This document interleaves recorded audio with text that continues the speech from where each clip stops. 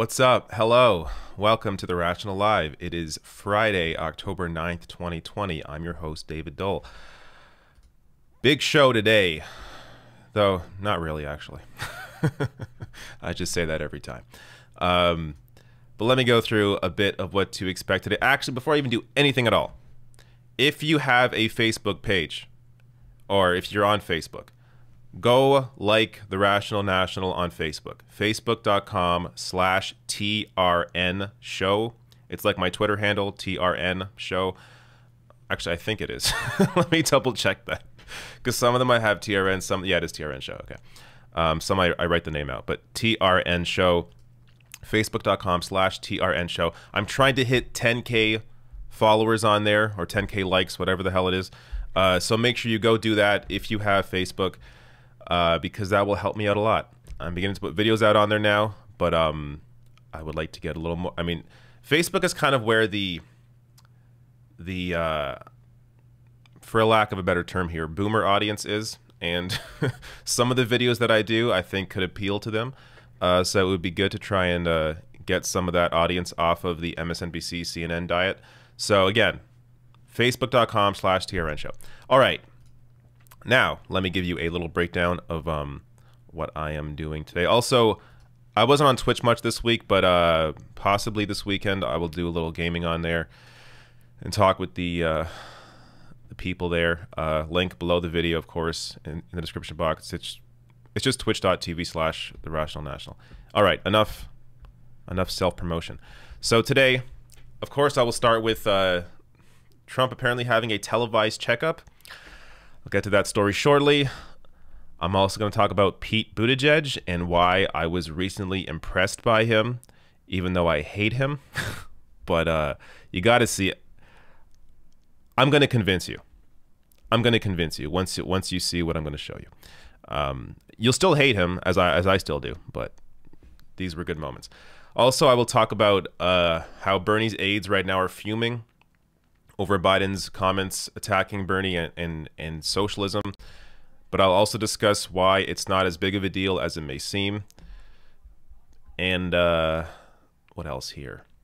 Marianne Williamson, there's a video that she put out. I'm going to share it.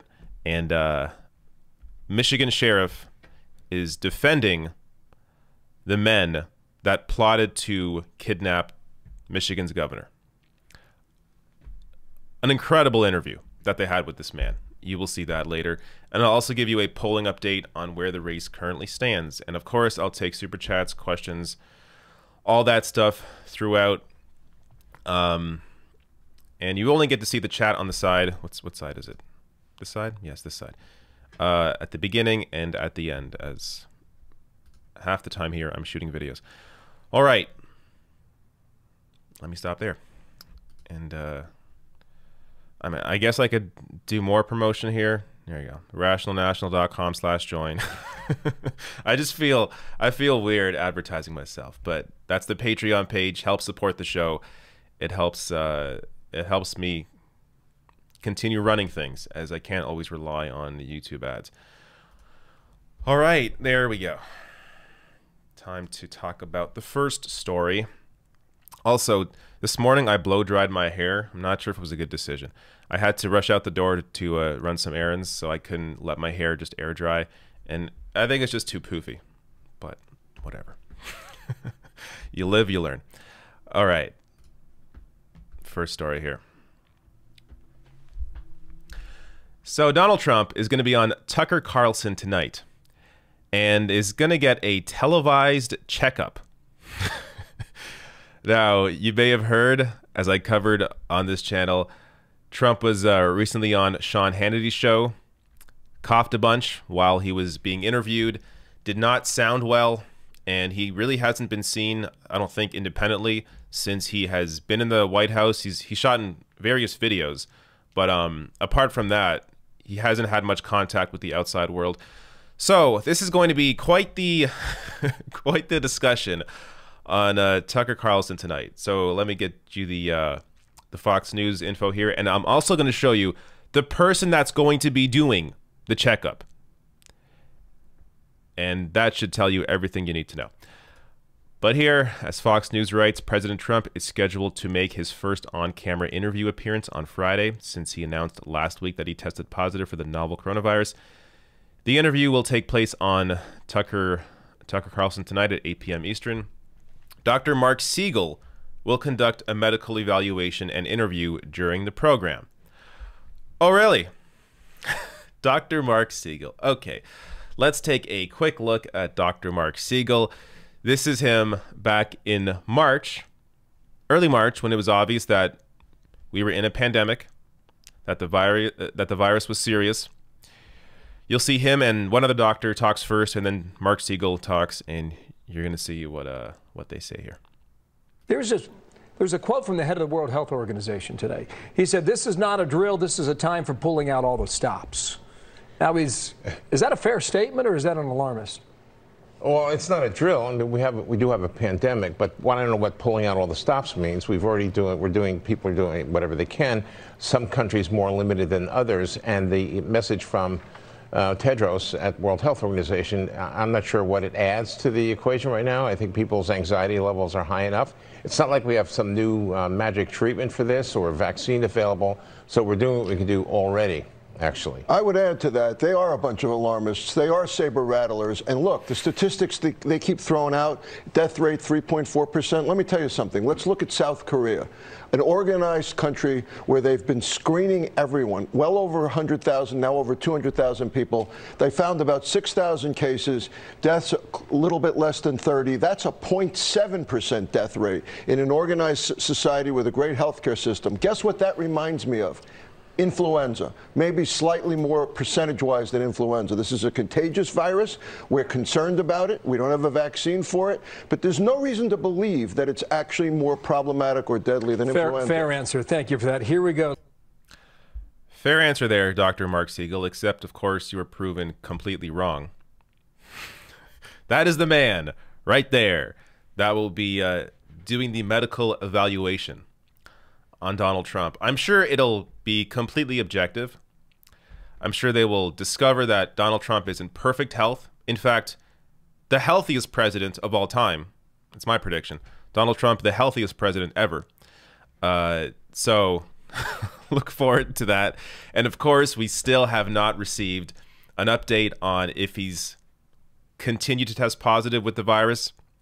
He clearly has not discussed testing negative. Uh, he was asked a number of times during the interview on Sean Hannity's show, "Have you tested negative?" Donald Trump avoided the question to say he's, "Oh, I'm feeling great.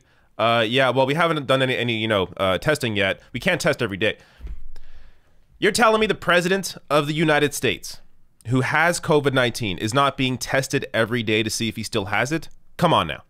So he clearly still has it.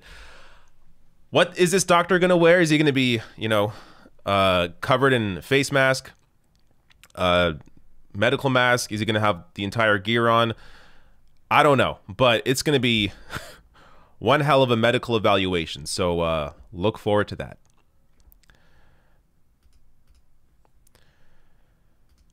Okay, man. Uh, it's amazing what the right wing gets away with. Imagine Barack Obama went on MSNBC and got a medical evaluation from a guy who said that the coronavirus isn't as bad as, or is just as bad as the flu, or no worse than the flu. Like, just. uh, the, the other universe these people live in. It's, you know, it's comical until it gets you killed because, of course, the virus you don't have to be an idiot to get it from an idiot. That's the way it works. All right. Uh, let me see if there are any chats, and then I'll move on to the next story. This time, I'm prepared to refresh the page in front of me. Look at that. There is one. Alnadi1 says, Hey Dave, what are your thoughts on the 25th Amendment to replace Biden, and what does that say on his health overall? Happy TG, TGI? Uh, the Mimico fans. Um, so I almost did a story on this. It's not. It's not going to happen. so Nancy Pelosi, I, I didn't present. Uh, I didn't really prep a story on this, but I did read through the, an article on it. Nancy Pelosi is essentially pushing to create the necessary body to evaluate a future president or this president, but uh, it's not going to get passed a future president on uh, the 25th Amendment, whether you know they're mentally fit to to stay in office. This obviously should have been something that was pushed by the Democrats maybe back in 2017. Maybe not wait until the final weeks potentially of his uh, presidency to, to push this forward to make this a, a major discussion. It's super weird timing. Uh, and as you say, if anything, it would be used on Joe Biden because it's not going to pass the Senate. So I, I don't. What's the result of that? You get Kamala Harris as president, and then what? Uh, I just don't. I think it's a lot better if Biden stays in. Uh, again, we're assuming he wins, but um, becomes president, stays president until the until his fourth year. Uh, the longer he stays in without saying what he's going to do for a second term, the better because that cuts into Kamala Harris's ability to campaign as the potential replacement uh, of Biden uh, in you know in four years. So meaning that you can have a progressive challenger you know, launch their campaign like next year or the year after, and and just start building up that movement, building up that campaign, and discussing how this neoliberal democratic presidency is not enough. People need health care. People need real financial help. So to have that that has more of a chance of catching on if, of course, Biden does uh, doesn't follow through on many of the big ideas that Bernie fought for, which of course Biden's not going to follow through on those because he's not campaigning uh, campaigning on those. Um, but to go to the 25th Amendment, I just don't think it's realistic. Because uh, again, this body that Nancy Pelosi is, is trying to uh, create through this this bill, I think, um, it's it's made up of uh, doctors, Democrats, Republicans. It's all across the board even if it was law right now, I'm not sure they'd be able to get Trump out, even though clearly I think he would qualify. But it just really seems to be political theater uh, at this point. It, it's weird timing, and I don't really understand the point of it, uh, the point of that discussion right now. But thank you for your question and your super chat. All right, let me uh, prep this next story. Of course, as there are new people every time to the stream, um, I'm the only person here, meaning I have to prep every story. So if there is some silence in the meantime, just chat amongst yourselves in the YouTube chat, and uh, I'll have this next story ready shortly.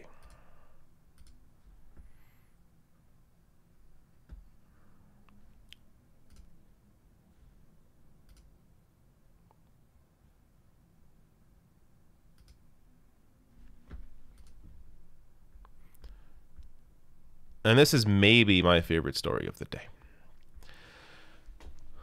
Just because it is so it is it is surprising. I would say it's surprising. It's not something I um really expected out of this man. All right.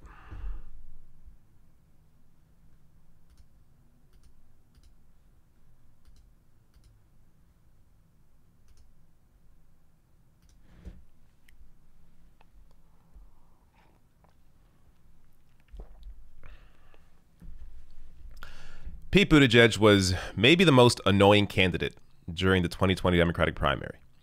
He was evasive when he was hit with uh, when he was hit with questions. He was overly polished, rehearsed, lied about Medicare for all. Constantly, his health care plan was just a uh, public option in disguise. That said, as much as I still don't like him, his recent appearances on Fox News have been incredible.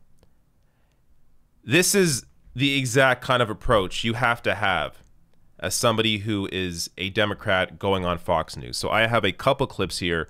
Let me start with the first one.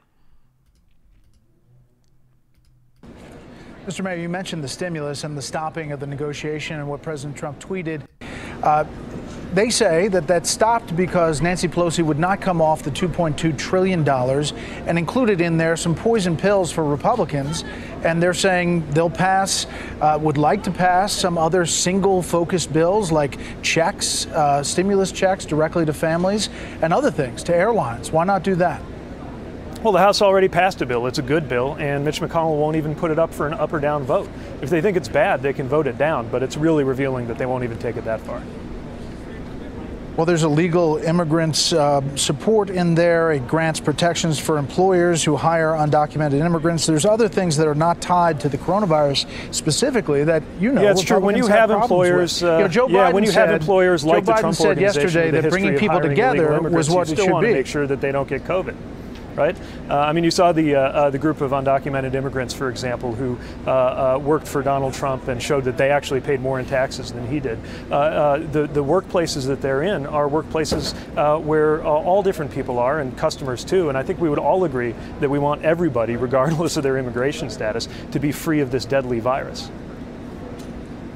So just going back to my original question about the things that, you know, when, when, you run for president, you have a record on all of these issues. And then we've seen that record and her stance on them changing over time. So there's no doubt she's going to be asked about that tonight. Can you give us some insight into what she might say to justify why she was for Medicare for all then and is not for it now, for example?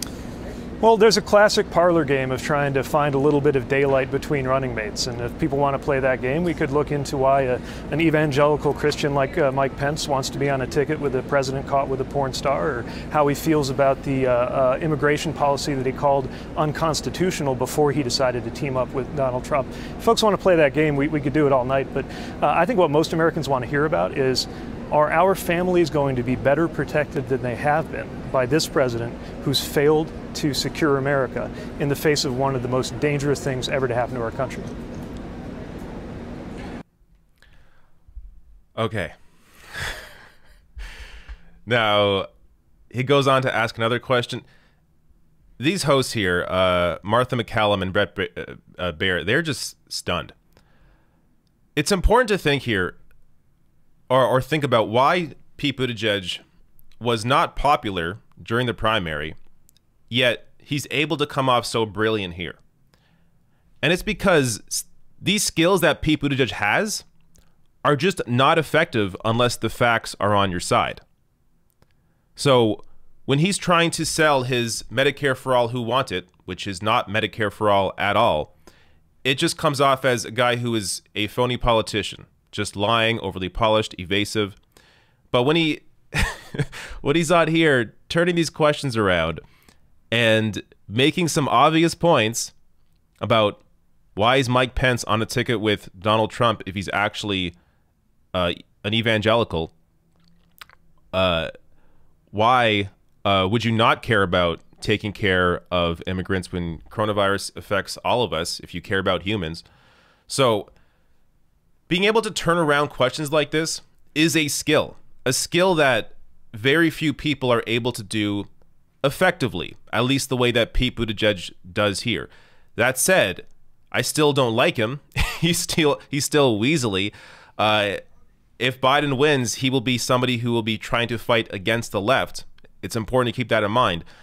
But it's also important to see that people like this, it's good to have them on your side during a fight in the few weeks before an election. Now, I have one more clip here, which is just as effective, just as uh, entertaining as that one was. Well, it's too bad. Uh, I don't know why the president's afraid to participate in a debate. You know, all of us. Hold up. For the live audience, let me uh, boost your audio here. Well, it's too bad. Uh, I don't know why the president's afraid to participate in a debate. You know, all of us have had to get used to uh, virtual formats, right? I mean, uh, parents are, are uh, you know, having to deal with e-learning, uh, which uh, in some cases, you know, is, is not what what we're used. To. Well, it's always not what we're used to. I mean, we're having to take meetings over Zoom. it's not something I think most of us enjoy, but it's a safety measure, and I sure. think part of why the U.S. is falling behind, is badly behind the rest of the developed world on dealing dealing with the pandemic is because every time there's been a choice between doing something in a way that's more safe or less safe, right. this president seems to push for less safe. I think it's also probably a reflection of the weakness of his campaign. Uh, you know, when when uh, you see campaigns getting the kind of bad news that uh, he's been getting through through this month, uh, a lot of times you'll see these kinds of uh, increased arguments over rules, uh, withdrawing from from opportunities, a little bit of flailing there, and, and it's too bad because I think yeah. you know the the more the American people can hear two candidates side by side, even if it's virtual, sure. the better. Of course, the only reason we're here in the first place is that the president of the United States is still contagious, as far as we know, right. uh, with a deadly. a deadly disease, which, which reflects the uh, right. the overall problem, and and uh, you know I don't know why you would want to be in a room with other people if you were contagious with a deadly disease and you care about other sure. people. But maybe the president doesn't care about other people. Well, all right. Uh, again, that that was just so well done. It's incredibly snarky, of course, but it's so effective against this Trump White House. This is what we needed more of, honestly, during the debate. Kamala Harris uh, clearly, I guess, her advisors or Biden's advisors told her to tone it down a little bit. Don't be too abrasive. Uh, don't be too angry, as a lot of people have issues when they see an angry or uh, a uh, a woman who's who's angry, who's a politician. It's so I read a Vox article about this describing how, you know, the Kamala Harris um, advisors or the Biden advisors were worried that she would come off as an angry black lady, which to me is ridiculous. Kamala Harris in that debate with Pence should have done way more, should have been a lot angrier. That said, the, a focus group, a Fox News focus group after the debate was uh, actually sided with Mike Pence because they thought Kamala Harris was too abrasive, too too angry.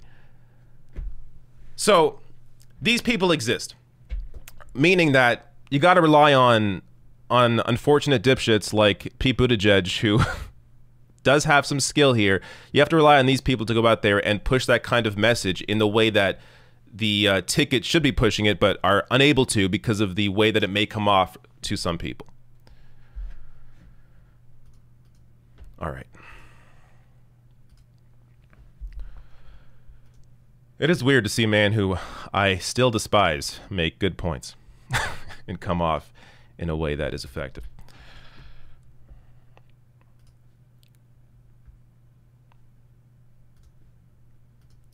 All right, here, going to uh, prep this next story. Unless we got some chats. Here we go. Joe Shalom says they should let Trump write and direct the fake checkup Quote, thanks, Dr. Pepper. It's good to know I am a superhuman and my muscles are oily and bulging. Thanks, miracle vaccine. Wink. I mean, that's basically what it's going to be. Uh, just less overt, but yeah, it's it's just going to be an entire clown show. All right.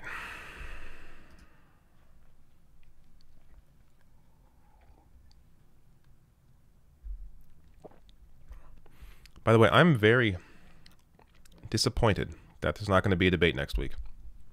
Uh, as insane as that first one was, I was looking forward to seeing maybe with some new rules implemented how they would do the second debate with uh, being able to possibly mute Trump virtually.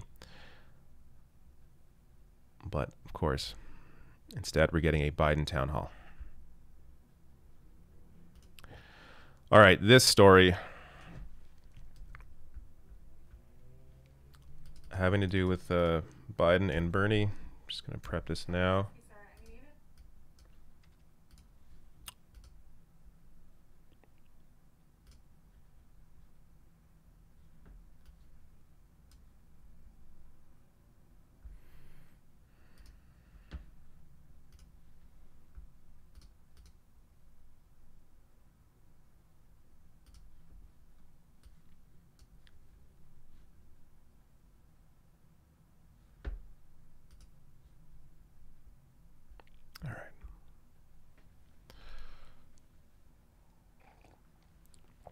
All right, so still to come, I'll be talking about the uh, how Bernie aides are fuming over Biden's socialist comments.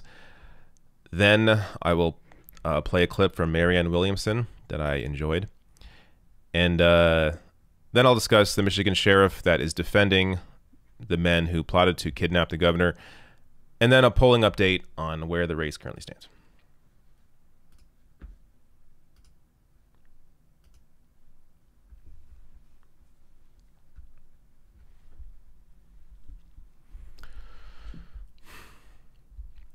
Joe Biden has been unwilling to defend Bernie Sanders when questioned about Bernie and socialism. Now, this has angered Bernie supporters and those that are close to him. I'll get to a bit more of that after I show you a couple clips. But I'm also going to discuss why I'm not all that bothered by this and why it did bother me at first. I think it'll be obvious. It, it would bother anybody uh, who was a Bernie supporter. But when I thought about it more, I kind of realized what the kind of politician Joe Biden is. So first, let me show you a couple examples here of how Joe Biden has been reacting when questioned about Bernie Sanders uh, and or socialism. If I could ask you, sir, I mean, even if you could address our camera. Door- Apologies for the jump in audio. I'm, I'm, I'm, I come from the television world, so when I see audio levels all over the place, it bugs me. In case you're wondering why I keep micromanaging this. This should be fine though. If I could ask you, sir, I mean, even if you could address our camera directly, talk to the voters that are worried about socialism and you raising taxes. First of all, I guarantee, I promise, I've never broken my word. Anyone making less than $400,000 will not see one single penny in their tax raised. Number two, I beat the socialists. That's how I got elected. That's how I got the nomination. Do I look like a socialist? Look at my career, my whole career. I am not a socialist. Number three, what we're going to do is make sure that we make people begin to pay their fair share. I'm not trying to punish anybody, but the idea that 19 corporations making billions of dollars pay zero in taxes, the idea you can be making a billion dollars or millions of dollars like Donald Trump did and acknowledge when he was trying to open up a casino in New Jersey, they had to show his tax returns. He paid zero taxes. And what did he say when he asked, well, how'd you feel about that? It just proves I'm smarter than everybody else. He knows these guys know how to game the system. The gaming is going to be over when I'm elected. Uh, Cuban American and Venezuelan voters here in South Florida are being targeted with messages by the Trump campaign claiming that a vote for Joe Biden is a vote for the radical left and socialism and even communism. What can you tell uh, people in my family, my friends, who are understandably concerned with that issue that would make them feel comfortable voting for Joe Biden and Kamala Harris. And let me just let me just point out we have about three or four minutes left. I look like a socialist. Look, I'm the guy that ran against the socialists. Remember, I got in trouble during the whole campaign. 20 some candidates. Joe Biden was too centrist, too moderate, too straightforward. That was Joe Biden. I have taken on the very people that, in fact, we're worried about. I've taken on the Castros of the world. I've taken on the Putins of the world. I've taken on all these dictators. I haven't cozied up to them. I'm the guy that's been straightforward with them. I'm the guy that let them know it stops here. It stops with me. It stops with me as president. Okay. Uh, this is stupid. It's really stupid.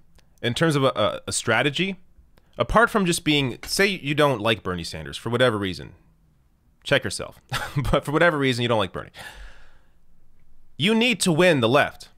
You need to win Bernie supporters. Almost half the party voted for Bernie Sanders. You have to appeal to those people. So when you react to a question about socialism or Bernie Sanders and you attack that very man, you attack his base, instead of correcting the misinformation, discussing how universal health care is not a crazy idea. Most other countries have some form of universal health care. Canada has single payer health care.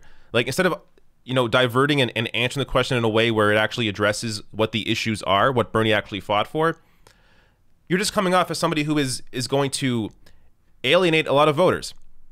Now that said, I'm not all that bothered by this. Before I discuss why, let me first show you uh, the reaction here from the Bernie camp. Quote, it's foolish and arrogant, a former senior Sanders aide said in a text message to the Daily Beast late Monday night. And more importantly, absolutely unnecessary. It's not like the Republicans are going to stop calling Biden a socialist, the source close to Sanders continued. This is a talking point they plan to use no matter what Democrat won the primary. Furthermore, none of his other opponents in the primary are working as hard as quote unquote the socialist to get him elected. So this is exactly right, and I understand the outrage from the Bernie camp, especially because they're close to the man who was fighting to get Joe Biden elected. That said, I'll tell you why this doesn't bother me. Joe Biden is a people pleaser. Meaning, if you put him on the spot and accuse him of being something, he's going to assure you that he is not that thing that you don't want him to be. If instead the questions lobbied at Joe Biden were, why are you a heartless capitalist? Why don't you care about people? I guarantee you, he would bring up his good friend Bernie Sanders and how, oh, we work together on this platform. We're uh, fighting to expand healthcare. We're going to limit uh, we're going to raise the corporate tax rate. We're going to raise taxes on the wealthy. We're going to do all these things for people. No, I'm not a heartless capitalist. I care about people. Now, of course, that is not the angle that cable news has when it comes to politics. We're talking about massive companies, massive corporations that run these news networks. So you're never going to hear any question about why are you a heartless capitalist. But you will hear again and again and again questions accusing him of being a socialist or be, being friends with socialists or how the socialists are going to take over the party. You will hear that. So just understand the Biden is not an ideological person. He simply is a people pleaser. He has supported horrible things throughout the years, but unfortunately, the horrible things that he has supported had support in public polling. So when it came to the uh, the crime bill, for example, being tough on crime in the mid 90s was an incredibly popular position to have for a politician based on polling. Joe Biden is your typical politician in that sense. He just goes with the flow. Now, of course, the other issue is the donors and is the advisors in his ear. So even when right now public polling supports Medicare for all, he does not support that because of the money he's getting from corporations, from insurance companies, and the advisors in his ear pushing him to continue propping up a for profit healthcare system. So there is that issue. But if you can build a big enough movement and somehow get these cable news stations to begin questioning, uh, again, assuming Biden becomes president, begin questioning his administration on why aren't you uh, expanding to Medicare for all? Why aren't you uh, raising taxes on the very wealthy. Why don't you have a wealth tax? Then he'll eventually be forced to react. That isn't say, that isn't to say, you know, I don't expect Joe Biden to become a democratic socialist. But because he is a people pleaser kind of politician, pressure does have an effect. So this is why I, I like right now we're in the final weeks before the election. You're not going to see me do many attacks on Joe Biden. And I'm going to be open and honest with that because right now my focus is getting out Donald Trump. If you're watching my videos, I want you to understand that it is very important that Trump gets voted out of office. But if Biden wins and he's inaugurated, I cannot wait to spend every waking moment going after this neoliberal administration. And I will push and push and push and inform people and try to get into, you know, the brains of the MSNBC CNN audience, the, the boomers, try to get more people on board to realize that if you continue pushing down this neoliberal path, you're only going to get Donald Trump 2.0 in four years. That you have to actually offer people some real answers. But in the meantime, the focus is Trump and getting out Trump. But we are going to build a, we are going to continue to build this massive movement. This, if you want to call it left wing movement, but I prefer calling it a, a workers or, or people movement. We're going to continue building this movement for a better future. And me as a Canadian, I understand the the role that America plays in pushing the rest of the world into a more humane direction. So I will continue pushing uh, for that better future and just reminding people that for now, Donald Trump is the focus.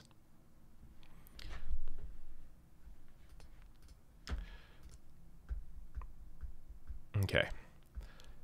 A few stories left.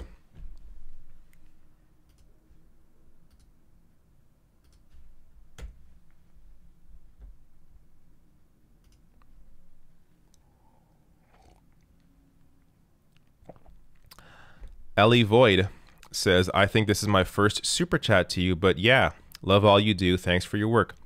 Thank you, Ellie. Thank you so much. All right, gonna prep this next story.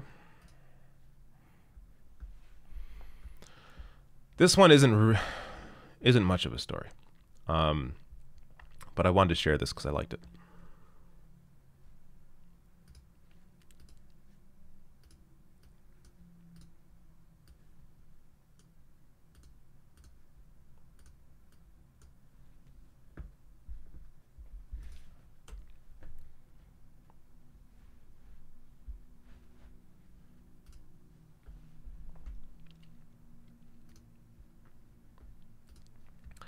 Also, we got some new members. So uh, sometimes YouTube cuts this stuff off, but uh, if you're cut off, I apologize. But let me mention here uh, Nicole Furlan, thank you for becoming a member. And Andy Harold, thank you. Also, a new chat. Yoda4 says, Thank all the gods that Trump didn't win the Nobel Peace Prize. you would have ranted about it forever. the fact that anybody even nominated him.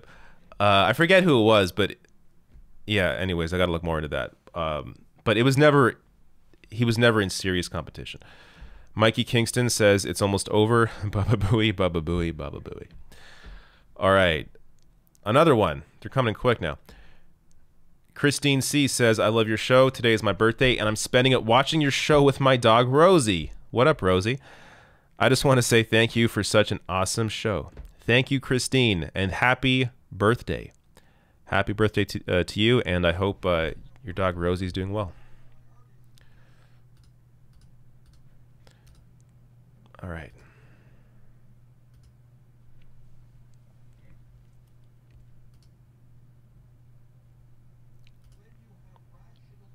I'll get to more chats after this next story.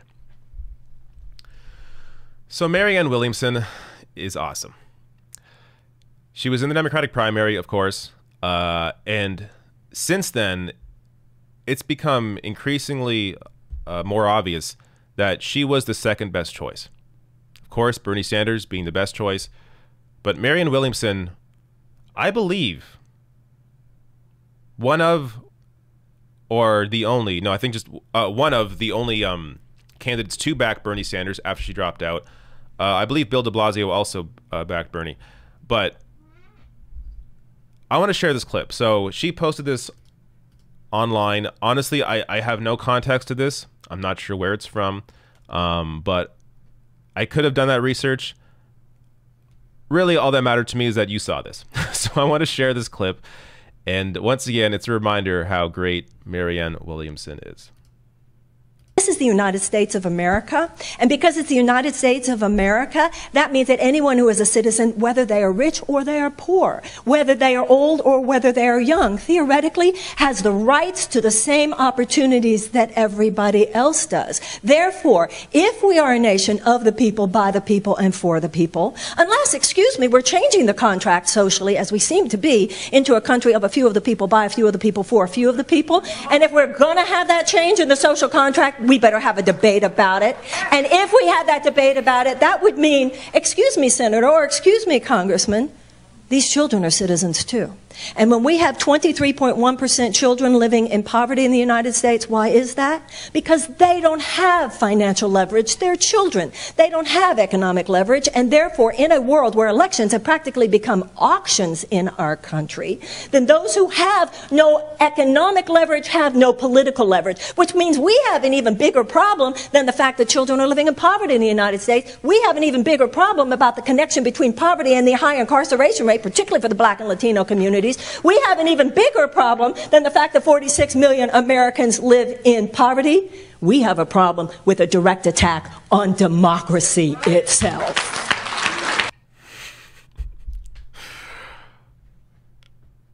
She brings the fire.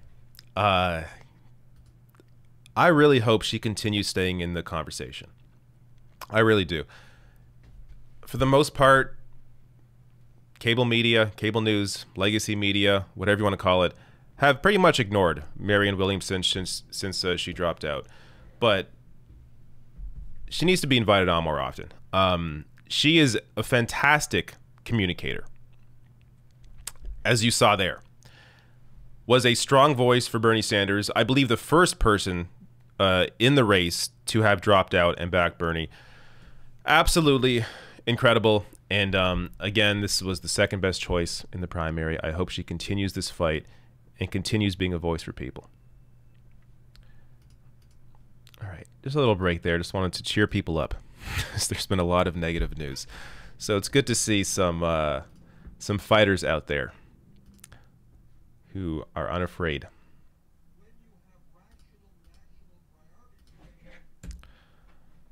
Let me grab some more chats here as they are streaming in.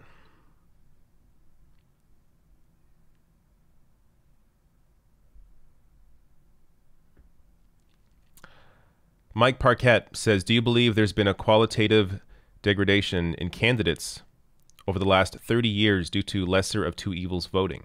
If so, is that better described by candidates becoming more corporate, less, less, uh, less substantive, both? I don't think it's because of lesser evils voting. I think it's because of the system that incentivizes them to be that way. Uh, you had almost the complete collapse of unions during the uh, the late 70s, 80s with Reaganomics and that that new uh, way of, of looking at at uh, the economy with, with neoliberalism and propping up corporations and you know privatization uh, deregulation. So the, it was a time where it was just that's been that's been incentivized for politicians to be that way, and because the system, the American system, largely based on raising the most money, their incentive has been to appeal to those corporate entities, meaning that it simply cuts down on the ability for somebody who represents the people to break through because they don't have they didn't have that money coming in. Clearly, Bernie Sanders changed the game. So when Bernie came in in 2016 and was able to raise just as much money as anybody else, but doing it with with individual donors and no corporate money, no PACs, it changed the game, and it showed you that it is possible, in fact, to be a candidate who represents the people. the The benefit Bernie had, though, of course, is that he had social media, which didn't didn't exist in the 90s, in the 80s. So because of that, he was able to, you know, spread the word, get out there. His clips went viral online, adding to his popularity, adding to the, the, his uh, his crowd sizes, adding to the votes he would get or he got in both primaries. Um, so that's been the issue. It's not that like you, you can say yes, lesser of two evils voting, but I always go back to how do you change that? If the options that people are given are two corporate options, that's what they have to deal with. So people are going to vote either way. They're going to vote for one of those candidates. So the only way you change that is understanding that there, you have to have either a different way of campaigning, as Bernie did, or you have to change the system that that incentivizes people like uh, an AOC or a Rashida Tlaib or Jamal Bowman or Cori Bush or of course a, a Bernie Sanders to to be uh, to be successful in any kind of political run they have. So I hear what you're saying, but that that uh, degrading of politicians is really because of the system in place and not because of how people are voting. Vicky Klee says, still using AdBlock. I enjoy watching. Thanks for doing what you do. Still using AdBlock. Winky face. You talking to me? Are you saying that you're doing it? Um, I have to do it during this uh, during these streams, but yeah, it, it doesn't. As I discussed in the past, there are a lot of sites now that just completely block you out. Sites that I would like to reference when I'm using my um, or when I'm uh, presenting these videos, but unless you like pay them some cash, like the Washington Post or New York Times, which I'm not going to give money to, um, then they block you out. So impacts my ability to do some of these uh, or to reference certain pieces that I would like to. Red Turtle says it's getting tiring presenting facts to right wingers. Thanks for keeping me motivated. Thoughts on third party candidates taking Trump's debate place? Thoughts on third party candidates taking Trump's debate place? I never even heard of this. Uh, I assume this is not a real thing, just an internet idea. Um, that's not going to happen. So I, the, the, the commission on debates, the people that set these debates up, they have certain rules. So that's why you're not seeing third parties in, in these debates. Um, they're not going to put one in there because Trump's out. And uh, in terms of it's getting tiring presenting facts to right wingers, yeah, uh, you have to. you got to think about your audience. There are some people you're just not going to get through to. People who are still supporting Trump. They support Trump because they're in a cult, because they are brainwashed. Um, you're likely not going to get through to to anybody that is still supporting Trump in this moment who is engaged in the issues. If they're somehow completely disengaged, but like Trump for whatever reason, they see the occasional clip, then maybe you can get those people. But if assuming they're still assuming they're backing Trump and they're engaged in the issues, yeah, um, I wouldn't even bother trying to change their minds. Mandy Soul, thank you for your super chat. Gina McGrath says Marianne was on Andrew Yang's podcast recently, and she did a great job holding Yang's feet to the fire for getting a little too close to the establishment. Oh, really? All right. Uh, I had no reason to check out Andrew Yang's podcast. Had no idea he had one, but I wouldn't mind hearing that. Carrie Friend says, Hi, David, your hair looks epic and cool. Thank you, Carrie. Uh, yeah, thank the blow dryer this morning. Usually I, I air dry it, but I had to go somewhere. Use a blow dryer now. It's just it's just crazy. Ebony says, "Fun fact: Williamson convinced Bernie to run in 2016." Really? Really? I haven't heard that. Um, may have to look that one up. I'll look that up later. Uh, I didn't even realize that they knew each other. But I- I'll look more into that. Vicky Klee says, before that, I'll support you through don- donating this way and keep my. Oh, that's what you're saying. Yes. You have ad block on, but you're donating. Well, then that's okay. Thank you.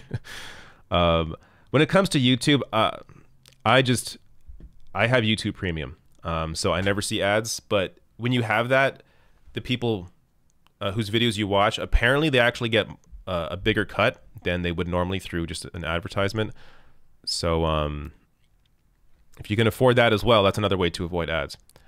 But uh, thank you so much, Vicky, for your uh, for your support. Okay, I'm gonna pause there. I'm gonna pause there to get to the next story, and I'll grab more of the chats. This story is stunning.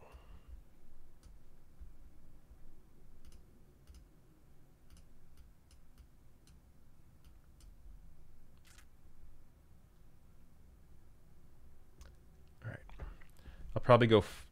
Yeah, I'll put this video full screen when I get to the clip because the website is not. Okay, yeah. Don't mind me, just uh, talking to myself here.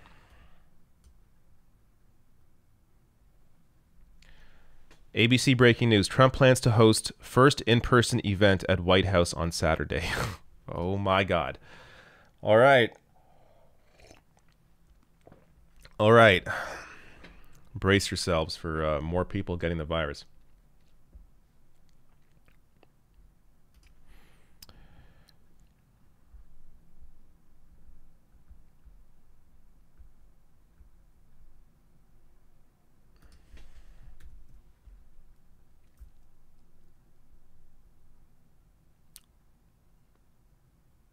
All right.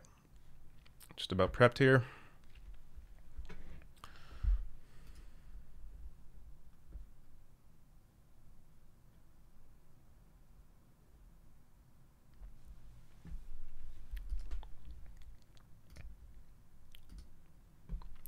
So, you likely heard the recent story about several men being arrested by the FBI for a plot to kidnap the Michigan governor, Gretchen Whitmer. Now, local station Fox 17 spoke with a Michigan Barry County sheriff, whose name is uh, Dar Leaf, who is connected to these individuals. And his comments about them are just stunning. So, let me play this entire segment for you from again Fox 17, and you will see the uh, the sheriff in this clip. And now for the live audience, I will go away so you can see this full screen.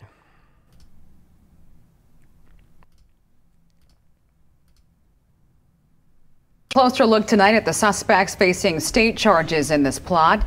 Two of them, William and Michael Null, were arraigned in Antrim County this morning, but they are from the Plainwell and Shelbyville areas. And our Aaron Parseghian live in Barry County tonight after speaking with neighbors and the sheriff there who knows the Nulls. Aaron? Yeah, Derek and Janice, I spoke with Barry County Sheriff Dar Leaf, who does say he knows these guys. He, quote, has never had lunch with them or anything like that, but has ran into them at some of these rallies. He said they've always been nice and respectful to him, adding they deserve a fair trial. Michael and William Null were among the first charged Thursday for their alleged roles in the plot to kidnap Governor Gretchen Whitmer. The brothers from Plainwell and Shelbyville are now charged with providing support for terroristic acts, on top of weapons charges. Their West Michigan homes raided Wednesday night. Uh, was able to hear them say, FBI, have a warrant for your arrest. Come out with your hands up. A neighbor of William Null spoke with Fox 17 under the condition of anonymity. They witnessed the raid and were shocked hearing what it was related to. I had heard that there was a lot of militia people their right to do so, but um, to the extent that we just found out last night, totally surprised about that. The Null brothers had ties to militia groups and were frequently seen at local demonstrations, including at this rally in protest of Governor Whitmer's stay at home order held last May in Grand Rapids. You can see William Null on stage alongside Barry County Sheriff Dar Leaf. A guest speaker at the event. We spoke with Sheriff Leaf Thursday night. Well, I haven't read everything up on it. I've got other duties to do. It wasn't our investigation. So I, I was shocked. I did not see this coming with those guys, but still, uh, we can't convict them in the news media here. They do have a right to a fair trial. Leaf says he doesn't know of Null's alleged involvement in the plot and doesn't have any regrets about sharing a stage with him. Do you have any regrets from being on stage, sharing a stage with a guy who's now being charged in a plot to kidnap the governor? Well, it's just a charge, and they say a plot to kidnap. And you got to remember that are they trying to kidnap? Because a lot of people are angry with the governor, and uh, they want her arrested. So are they trying to arrest, or was it a kidnap attempt? Because you can still, in Michigan, if it's a felony, you can make a felony arrest. And I think it's MCL 764.4 or something like that, 0.5, somewhere around there.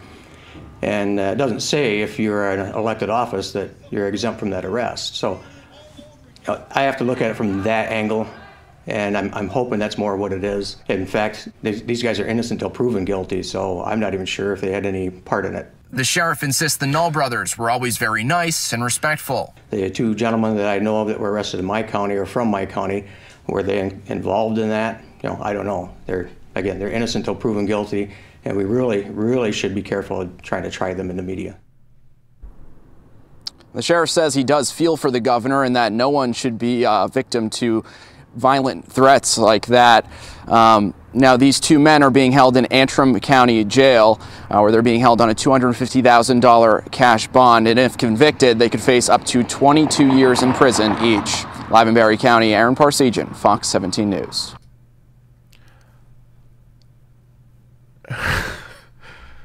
this sheriff just straight up defending these men. Let me give you a little more detail on what these fine people plan to do. So the FBI actually had somebody implanted in this gang. They call them militias. Uh, it's isn't it funny when it's white people they're militias, when they're black people they're gangs? So they had the FBI the FBI had somebody embedded in these in this gang. Um, and here's some of what they plan to do. Members of the group met, discussed, and trained in their tactics regarding how they'd attack the Capitol building, including using Molotov cocktails to destroy police vehicles, prosecutors said. They also tried constructing IEDs they could use in their attack, they said, and also had a successful um, uh, explosive uh, device go off in, in, their, um, in their training. Quote, Fox referred to Governor Whitmer as this tyrant expletive and stated, I don't know, boys, we got to do something. According to a live streamed video preserved uh, by the FBI, quote, You guys link with me on our other local system. Give me some ideas of what we can do. Their plans continuously evolved over the next several weeks, according to court, court documents. The men suggested it might be a better plan of action to kidnap Whitmer at her vacation home or shoot it up and kill her, authorities said. They also scouted out her her place at night, took photos, of where she lived. They had the whole plan ready to go. And luckily, the FBI was embedded the entire time and was able to stop it before anything actually happened. Yet the sheriff, oh, I mean, I didn't look too much into it. I mean, they were good guys. Uh, I was surprised that they that they did this. Yeah, okay. Uh, look, there are going to be members of law enforcement that agree with exactly what was planned here. And that is scary. It is scary to think that. But it's comforting to understand to, to also realize here that the FBI looked into this and stopped it. So, you know, I, I just don't. It's hard for me to, to really understand um, how people live in such a, a completely different world where it isn't already obvious the kind of hatred and anger these people feel. Like, isn't it weird that, like, why was Governor Whitmer, why was she the one that was targeted? Men like this are afraid of powerful women. That's a fact. Andrew Cuomo has been a lot tougher against Trump, has been a lot uh, more vocally active against Trump um, during this pandemic, has been attacking him openly. Of course, I'm not saying Cuomo has made many mistakes during the pandemic, but in terms of actual performance, Cuomo's been going after Trump hard. Whitmer has barely said a peep. And it was, I guess, over this mask order, which, uh, again, was meant to ke- keep people uh, safe and physically distancing. But in the minds of some of these individuals, like it, certain things set them off, and they don't even realize their own weaknesses. And you look, I've done this uh, in the video yesterday when I covered this story. You look at terrorism over the past several years, uh, years over the past six years especially, it's been almost all right wing terrorism, either plots or uh, things actually carried out. It's been almost all right wing terrorism. Yet they will claim no, Antifa, anti fascist. Yeah, people that are against fascism, they're the dangerous ones.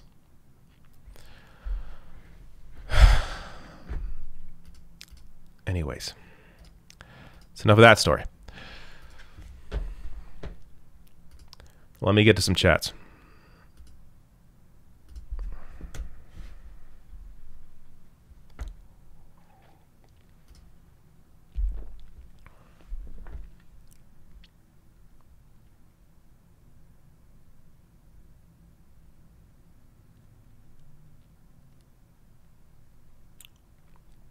Jenny, Jenny One Kenobi says, "Much love from Oklahoma."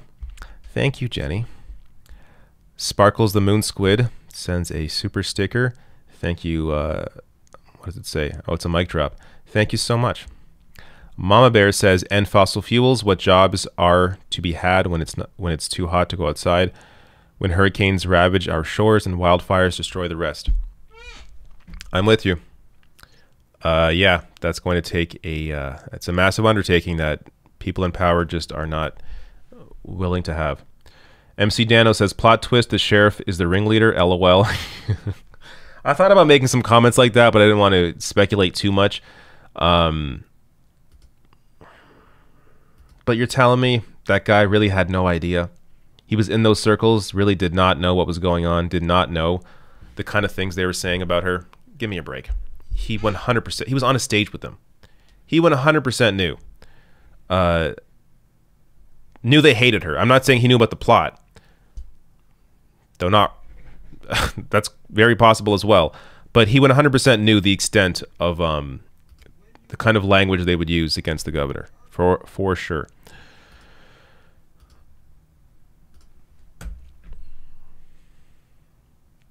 All right, we still got the uh, what's coming up. Still got the polling update and all of your chats. I'll also go to the normie chat as well when I have some time after the last uh, story. Adam Bryceland says, "Hey David, I mentioned you in a previous super chat to you that something like the Michigan governor thing was going to happen again. These people are a cult. Yeah, I would not be surprised if it happened again. Um, that." those aren't the only hate-filled people with uh, weapons that exist in the country. Um, so don't be surprised if the FBI, hopefully, foils another plot like that. Steve Alvarez says, "I'm seriously exploring moving to Toronto based on 2020 in the U.S. I love your coverage of the N of the NDP, but would love to see even more coverage. Pretty please." I could do there's not a whole lot going on right now. I mean, there, there there's stuff I could cover for sure, but um, we're right before an election here, so it's going to be uh, my focus is, is, is going to be a lot less on Canadian politics right now. Um, just as when there was an election in Canada, I was focused a lot on that election and doing videos on that. Right now, we're a few weeks till the election. I'm going to be doing a lot more um, election videos, but of course, I did do a video this week on the Green Party and the NPD, the NDP. You you wrote NPD in your chat, now screw me up. Uh, on uh, the Green Party and the uh, NDP. Um, so check those out. Check out the Canadian videos if you like them, and uh, if more and more people like them, then I'll do more of them. But there's only so much in an election month that I mean when it comes to Canadian politics, there's only so much that really rises above to uh, to the point that I feel like I should cover it in replace of something else. But anyways, I'll pause there. Pause there for a poll update, and then I'll get to all of the. Uh, yeah, I'll get to all the chats.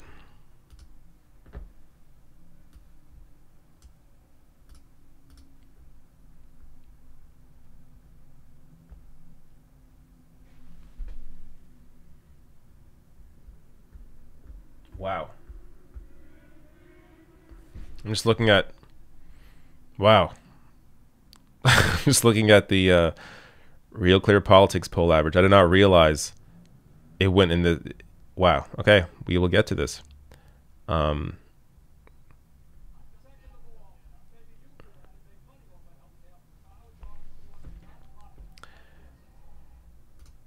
Yeah, a lot of these polls I'm going to go through I haven't even seen yet. I just collect the links and then I'll check them later. So we will compare the two candidates. Okay. All right.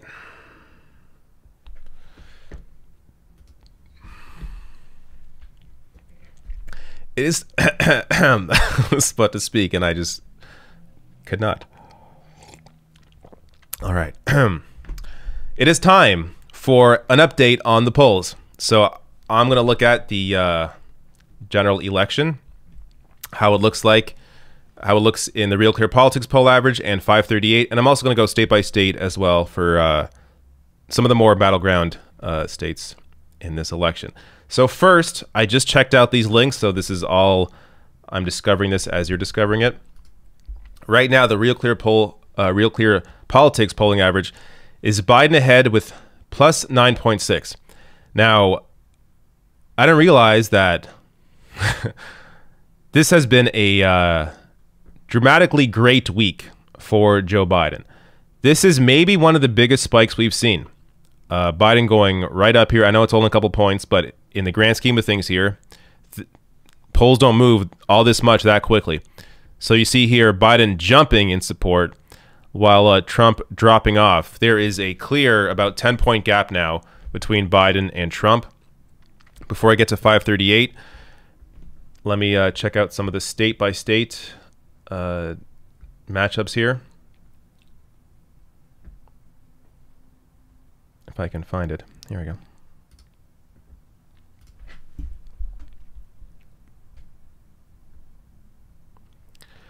So Florida, Biden leading by 3.7. Uh, there was a recent dramatic drop off here for, for Donald Trump, anyways. Um, but looking pretty good there for uh, Biden right now.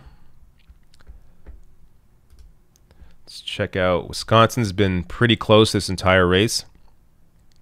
Biden leading by five and a half points. Hmm, how about that? Big gap there. What else? Let's see. Let's try uh, Michigan. 6.7. Biden leading by. Now keep in mind, Hillary at this point in time was around leading uh, by about two to four points um, in each of these states and, and nationally. So Biden's lead is considerably more than Hillary's was. And also keep in mind that a lot of the support for Trump back in 2016 were a lot of people who hadn't voted for a while and who were inspired to vote for Trump because he was not your typical politician.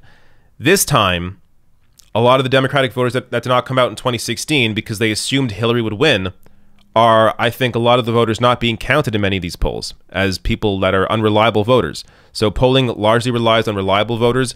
So I think you're. It's possible we're seeing um, Biden's numbers uh, here are actually lower than they are in real life. That said, of course, all of this is just how the race stands right now. Things can change. And of course, people have to actually go out and vote, and the ballots have to actually be counted. That's one of the issues with Trump and his uh, fear mongering around mail in balloting and the potential that he could try in some way to stop the counting of the mail in ballots if he is leading on election day with in person voting. But all things considered, if everything's equal, um, I am confident that Biden would just sweep this race. Let's check out a few more states on Real Clear Politics before moving on. Uh, let's do North Carolina, sure. Don't expect this to be for Biden, but you never know. There you go. Biden leading in North Carolina, 1.4. Uh, it's been fairly close, but recently again, Biden seeing a big increase. Let's do one more here. One more. Iowa has been closer recently. Let's check Iowa. Biden leading in Iowa by almost one and a half points. We don't have a graph, but there you go. Unless it's down here. No, it is not. Just a bunch of ads. Okay. Um, but there you go. So let's take a look at 538. Biden leading by about, I just saw 10 to 9.5. Nope, 10.1. Biden leading by 10.1. And again, you're seeing recently about since since the first debate and since uh, Trump getting the virus, Biden increasing his lead and Trump decreasing. Understand how rare this is. Usually, in the last month of a race, the polls tighten up. People are uh, undecided voters become, you know, a, a uh, they, they're bouncing back and forth between both candidates. Here, it seems they're making up their mind, and it's going in one direction. So Biden continuing to increase his lead nationally. Of course, though, state by state is what matters the most. Let's check take a look at some other states here. For the hell of it, I just want to see Alaska. There you go. Trump leading, not by much, but he's leading uh, by four and a half points in Alaska. Alaska is always a weird state to me. It's it's basically in Canada. Don't they know what they're missing? Like right next door to, to British Columbia. Don't they see universal health care and, and wonder why they don't have that? But then again, it is, you know, more of a rural state, so I, I understand that part of it. But uh, still, let me check out Georgia. How's Georgia doing? Look at that. Georgia, Biden leading in Georgia by uh, over one point, 47.7 to 46.3, 1.4, 1.4 point, 1.4 point difference. Um, let's check Iowa here as well. Biden leading by a point. How about that? Texas. What's Texas saying? Trump leading in Texas by 1.7. I mean, this is amazing. I do think in this case, Bernie would be doing better. He had incredibly strong Latino support in uh, in Texas. Still, Biden is within striking distance here. One more, one more. Who should we do? Uh, Wisconsin's been pretty close, but I already checked it out. Um, Ohio has been actually really close. Look at that. Biden barely leading in Ohio by 0.9. All right. Um, look, I, I, I covered these polls to give you an update on the race. This is not to discourage you from voting, to make you think that, oh, Biden has this. No, he does not. Uh, it is important to get Trump out, to have Biden in, and then we can begin to have the real debate that I want to have, and that's democratic socialism versus neoliberalism. That is the debate I'm looking forward to next year, and this time, it's obvious what Biden's about. This is not a hope and change candidate. Biden is not running like Barack Obama. He's not fooling the progressive left. People know from the beginning who Joe Biden is. There is already a built in movement against Joe Biden from the left. Meaning, once Joe Biden's in, we can uh, get the game rolling and really begin to grow this movement and have people in Congress that are also on our side pushing for the various issues that we want to see implemented. You have AOC, Rashida Tlaib, all the Just Democrats in Congress pushing for that. Bernie Sanders was vocal against Barack Obama when he was going to cut Social Security. I imagine Bernie's going to be vocal again, as he's discussed as well in interviews, that the focus right now is getting Biden in, and then we can have a discussion about all these various issues. I expect Bernie to also be on our side, having that fight in public for a better world for everyone. So look forward to that. But of course, first, got to get Trump out. Make sure you're voting. Get your mail in ballots in. If you're voting in person, which I suggest if you can, vote in in person early. Um, but stay safe, wear a mask, be as physically distancing as possible. Make sure you're you're very safe if you go and vote in person. But the reason I say that is because any funny game that Trump's going to try and pull, it's going to be because of the same day election result. So if he's leading on election day with in-person voting, it doesn't mean he won but he may try and claim victory and it, he may try and stop the count of the mail in ballots. So if you can vote in person early, do that. If you can't, no worries. If you voted by mail, no worries. That's also great. As long as you vote, vote in this election, get out the neo fascist. Okay, now let's get to all of the chats. All of the chats, and I'll put this up as well. To keep it interesting, even though I can't really keep up to date here. Um, somebody mentioned Ben Dixon. Ben Dixon is doing some awesome videos. He's doing a lot more video content nowadays. Check out his YouTube channel. I really enjoy hearing uh, Ben's take. All right, let me grab some chats.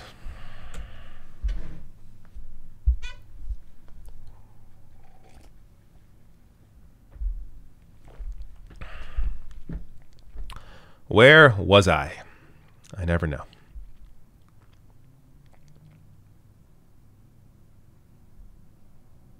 Here we go. Sarah Lee says, I wish people had a better understanding of international history and even current events. This has all happened before and now. This is starting to sound more like November will start the United States of Belarus. I don't think it's quite the same. Uh, there is, of course, yes, that potential. Um, but seeing how wide the margin is right now for Biden, that's what's going to work against Trump. Trump has, has a better ability or a better chance of stealing the election the closer the result is. So if it's I mean if Biden if Biden leads Trump by 10 points on election day, forget about it. Trump can't do anything. Um, he can try, but especially if same day voting favors Biden in big numbers, they can't really do anything. Uh, but I hear you. Yes, people, of course, be, the entire we'd all be better off if uh, people understand understood um, uh, current events better in international history. But the issue really is people have busy lives, and the media should be doing their job to inform people, and they don't. They largely just push uh, a you know a status quo through that. They, they rarely ever question anything um, objectively. They'll have you know a neutral position between say Democrats and Republicans, but there is the objective posi- position that is to the left of both of them to the objective reality of what is best for people and that is rarely ever discussed in the press. And part of the reason is because they're taught to pl- to be neutral. They're taught to play this both sides game. I went to school with people who were in who in uh, in journalism. They're taught that there's two sides to every story which is fine if you discuss that there is an objective reality and then there are two sides in terms of how people interpret that reality. But there is still that objective reality, and that's what the media often misses. Diego P says, Hey, David, thanks for your work from Salt Lake City. Thank you, Diego. Uh, Steve Alvarez says, Been watching a lot of JJ McCullough videos. I don't know who this person is. I see this person's name uh, often, but I don't know who they are. Um, to help with research into Canada, he's a moderate conservative. Do you have any thoughts on him and his views? I, I don't know who this guy is. Uh, I think I saw. I may have seen Vaush do a video on him. Vaush is pretty good at keeping track of who all these people are, um, but it's this is not my my realm, so I I just don't have an opinion because I don't know him. George McCaffrey says thanks for what you do. Thank you, George. Miguel Sevilla says love your vids and and analysis, bro. Future goat. Thank you, Miguel. Lawn Gnome says the presence of a cat lady mug implies the presence of a cat. Have you been holding out on showing us something fluffier than your hair? No. Um, the cat lady mug, which I'm not using today. Today I am using uh, the Beaverton. This is a Canadian satirical website and uh, television show. Still, I think it was a TV show for a couple years. I'm not sure if they canceled it, but um, no, uh, I was at the, actually the very first taping of the Beaverton TV show. That's how I got this. But uh, no, the cat lady mug is um, that's my partner's, who is uh, she's very into cats, and we don't have any uh, because we can't in in our apartment, unfortunately. I mean, we could, I guess, but we're not going to play that game. I'm not going to hide. I'm not going to hide pets from from landlords. But uh, maybe one day, if we can get out of, get out of here and go to a place that allows animals. It's very possible. Um, Sarah Lee says, "I we need a Bumble version of this chat for my mom. She's killing me, chatting to you in my ear. She was referring to a peaceful transfer of power with her comments about Belarus. Oh, gotta love 85 year old engagement. That's amazing. Um, that's so awesome. Well, thanks to both of you. Uh, Citizen Zero says, How is Biden's under 35 support? It is strong. So, last I saw, so uh, again, it depends on who's actually voting, right? But I guess based on people that are that are people that are uh, reliable voters, Biden's Biden has the strongest support for people under four, under 35. Um, if I have that, I may have that handy actually. Let me look. Let me find it for you, just so I'm not talking out of my ass here.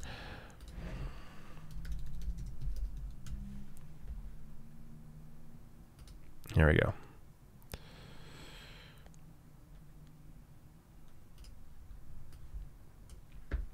Let me bring this up. I think it's I think it's this poll. Let's find out.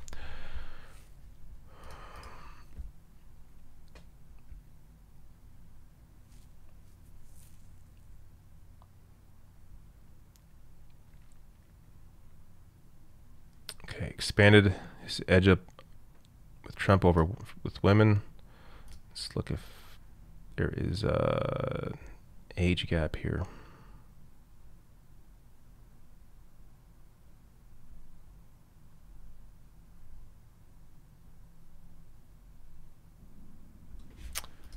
If I just look up age, no.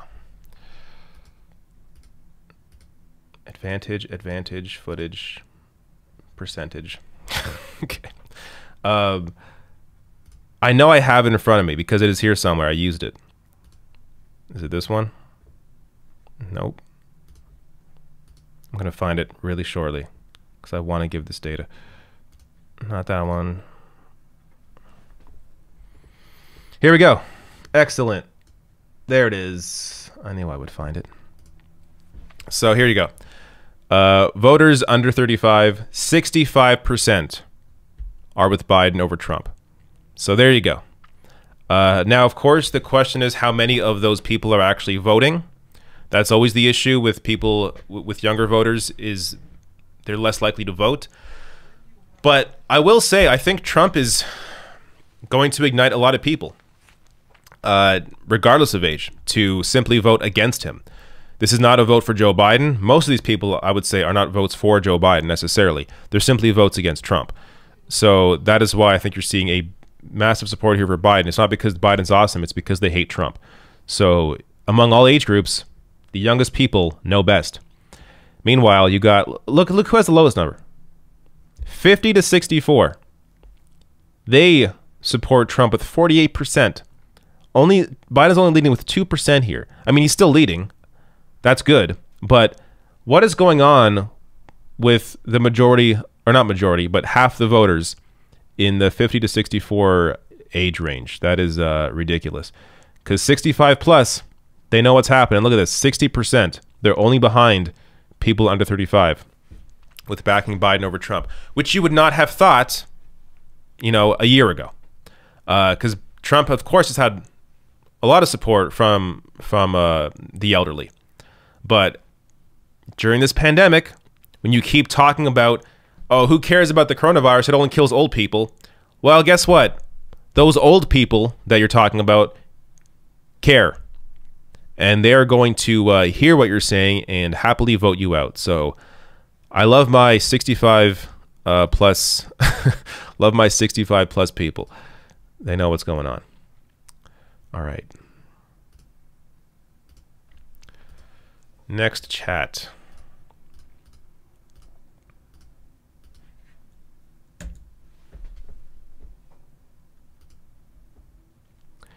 Car Wash Freak 97 says even if, if even in Trump lose, I think you mean even if Trump loses, watch out for right wing uh, violence. Yeah, um, you're gonna get it regardless. So you know,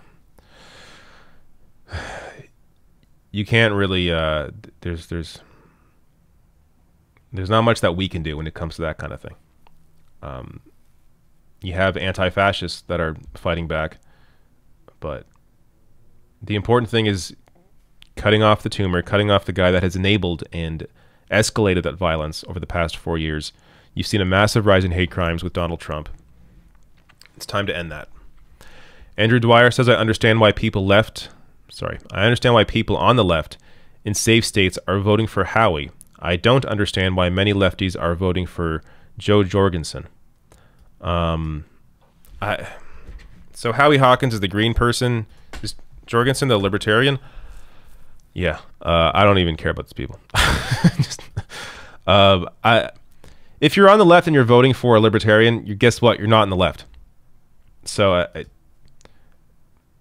I don't know. I, am not sure who you were talking to, but those people that claim to be on the left voting for for her are just lying to you and are trying to get some support for a, a libertarian candidate. Uh, at the same time, though, I also don't understand why you would vote for Howie. And I'll tell you why. Because the popular vote matters. It really matters.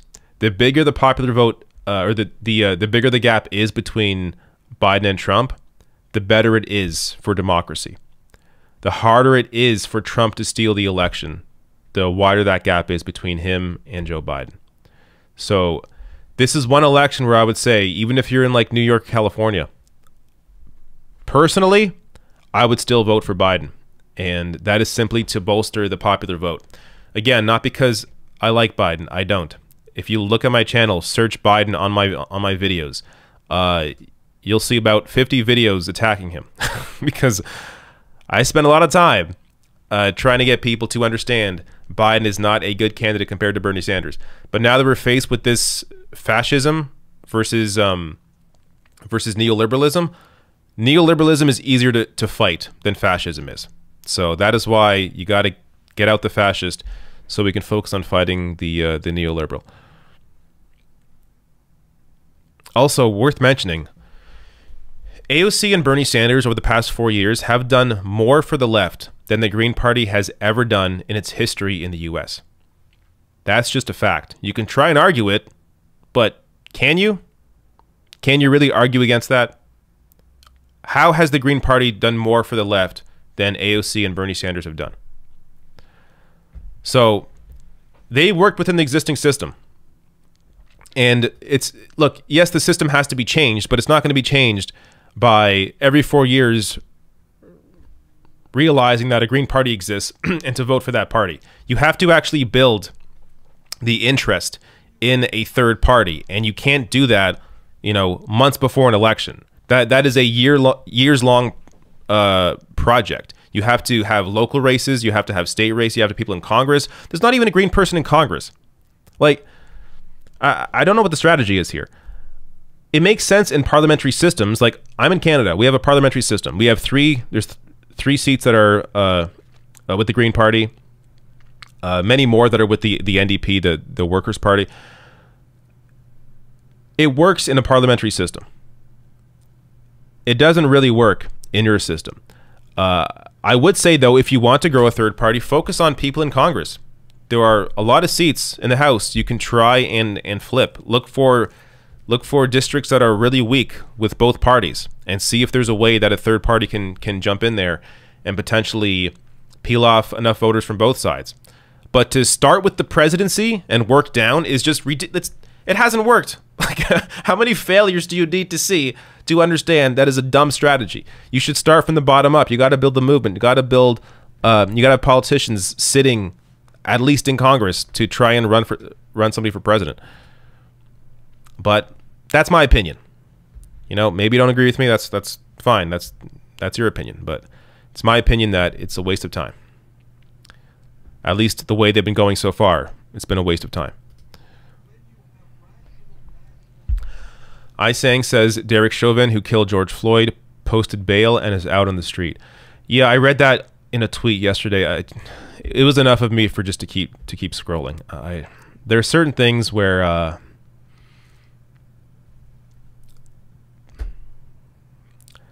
there's no there's no logical explanation to it. So it's completely insane. If if that is in fact true, again, I didn't look into it at all, but if that is in fact true, completely insane that that man's on the street. Matt W says, "You do seem happier now. It looks like a Biden landslide. Not long now." Funny you mentioned that. I have felt a little better over the past week uh, because of these polls. I, I was worried for a while. I mean, I'm still worried. Trump's going to pull something. I still think he's going to try and pull something. He'll still try and steal the election. But um, I was really worried there for for a while. Uh, but you're seeing now, even after he gets COVID, there was some idea, some uh, suspicion, or or pe- people thought that people that voters may feel sympathy towards Trump after he got the virus. Nope, went the opposite direction. I think most people realized he played with fire and he got burned. So you take the virus or you, don't take the virus seriously and you get it, well, that's on you, bro. you got the virus because you uh, downplayed it, didn't care. People are not going to feel sorry for you. All right. Is that it? I believe it is. Let me go to Normie chat. What's up with the Normie chat? It's going crazy right now. I apologize to the mods for uh, not um, turning on slow mode. If I do it now, it's too late. There's no point. We're almost out of here. But let me see if I can grab something here.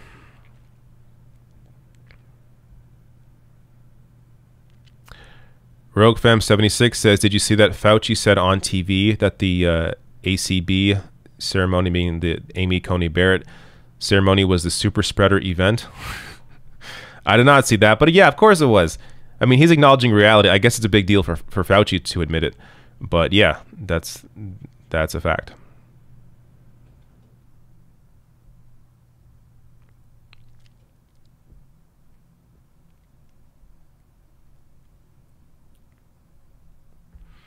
Let me grab some other normie chats before I get to some supers that that got dropped in here. Um, Mystery Girl says, "I'm just. This is just random. I just saw this. Says, uh, love logical and sensible people, and you are one of them, David Doel. Wow, thank you so much. I just picked that one out randomly, and it was just happened to be a compliment. Uh, no, but thank you. I do appreciate that. I'm trying to find one that's like a question or something. Did you hear the Melania tapes? Yes, I did. That's from Silent Dog. I heard them. I almost did a story on them, but by the time I got to it, they they came out. I think the night or the day before Trump got COVID. So that story got like completely swept away because of COVID. Uh, I almost covered it. It. I don't know. Uh, nothing fazes me anymore. That's the problem. W with this administration, nothing fazes me. Like, yeah, of course, Melania. Of course, Melania Trump hates Christmas uh, doesn't care about the kids in the cages. Like, you know what I mean? Like, I'm just, I wish it surprised me. I wish it bothered me. I wish it was something that I, that was big enough that I thought I should cover it, but it, it's too late now to really cover it. Uh, and ultimately, she has no real power. I mean, I guess she kind of does, but only because of her association with the president. So uh, it's whatever. Yeah, Melania, is a not a good person. Let's hope we never have to uh, see her again in four weeks. Okay, let me grab some super chats and then get out of here.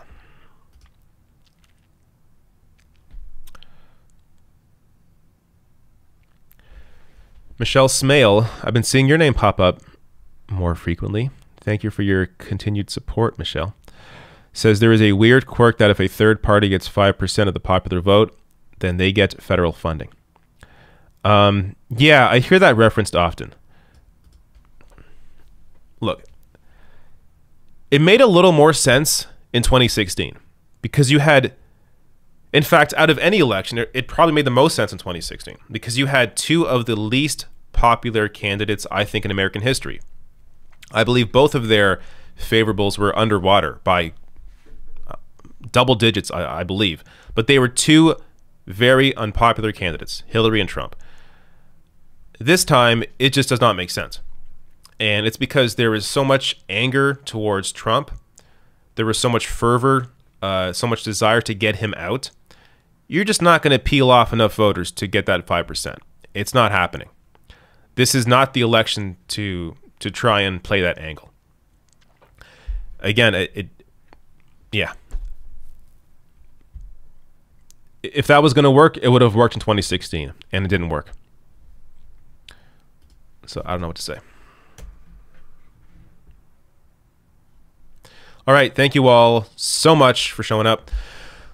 Uh, Studio Q says, David, can you please cover the Uyghur, or sorry, the Uyghur genocide and concentration camps? Thank you. Yes, I believe I've covered it before. Um, I got to see if there's updates. I mean, it, it's the kind of story I just have been following. There's been so much going on with the election, so I'm going to have gaps in my knowledge when it comes to certain things. So I have not seen anything on that recently, but I do agree with you that um it, it does need more coverage. What else here before I go? I like hanging around. Starbucks should print. this is funny. General Martok says Starbucks should print Melania's quotes on their Christmas cups. what was her quote about Christmas? It was like, I, I just don't give a shit. Let me look at this. That was a horrible, that was a, horrible uh, impression, but.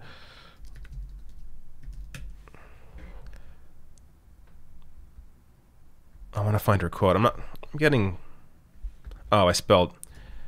Autocorrect corrects Melania to Melanie. Anyone else notice that? And it's really annoying.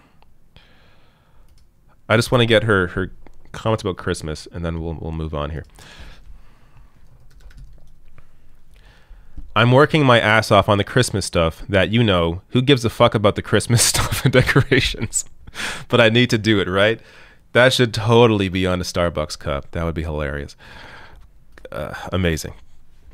Great comment. All right. Uh, is it time to go? I should have tried reading that in a Melania quote that I haven't done in, in quite a while. I mean, I just did it, but it was terrible. But um, no, I'm not going to do it. Almost did it, but not going to do it. All right. Thank you all for showing up. This has been great. I'm really going to try. I know. Look, can't make any promises. Um, I am the most unreliable person in the world when it comes to making making plans in the moment and sticking to them. But if I have time to play a video game this weekend, I will try to get on Twitch and do that because uh, I need a little break and it'd be fun to just get online and chat with some people. All right, one last super chat came in. Let me grab that and get out of here. Ryan Livingood sends me a super sticker that says first, sorry, fist bump. fist bump to you. Thank you, Ray. All right, thank you all so much. Until next time, this was The Rational Live. Check me out next Friday. Again, before I go, like the Facebook page, facebook.com slash TRN show. trying to hit 10,000 on there. Please help me get there. Thank you and goodbye.